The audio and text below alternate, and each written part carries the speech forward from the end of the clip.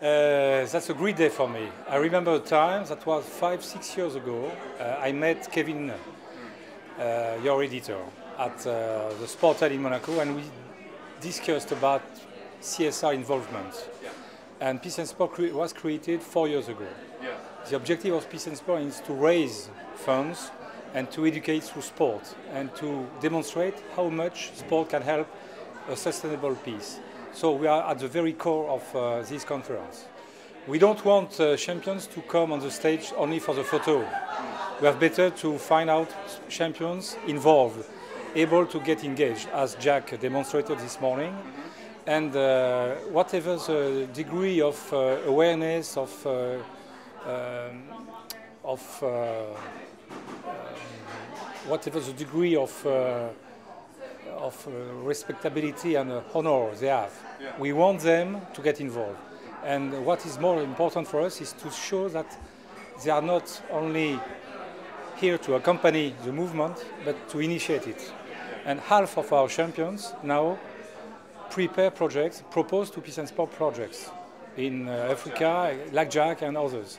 So that's quite incredible because at the beginning we are very shy, as I told, about the reality and possibilities of the champions. They have agendas, they have uh, uh, agents, and first reactions were not that positive. Now we have found that most of them, once they identify the interest, the CSR interest of acting this way, they are okay and they come, and more and more come we absolutely need to, to, to, to, to, to, develop, to develop this message to them and to tell them we need, we absolutely need your help. Uh, many, many people speak about CSR. Uh, my, my feeling, my personal feeling that within the corporates, within the staff, uh, among the deciders, it's not the first priority of their agenda, and I do understand why.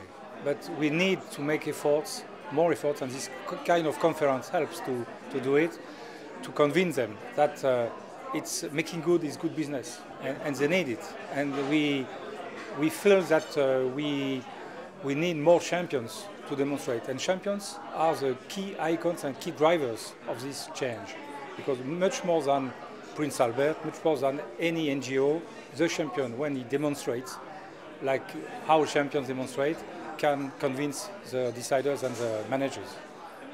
Retired people, uh, also we think of coaches.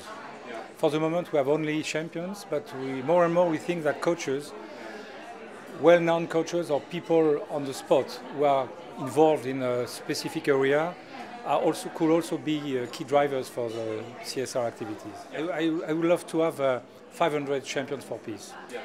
And most of them unknown because uh, there would be champions in their area, icons for their populations and communities, even if uh, nobody knows them in Paris, in London, or elsewhere. So that's the idea of uh, having a, a wide range of possibilities through this network of champions.